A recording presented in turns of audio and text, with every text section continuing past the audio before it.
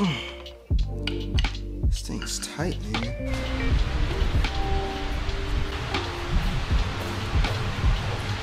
Loosen these up, lower this fork down a bit so I can get some more space up here. Oh, yeah, see, these forks are nowhere. Wow, look at that.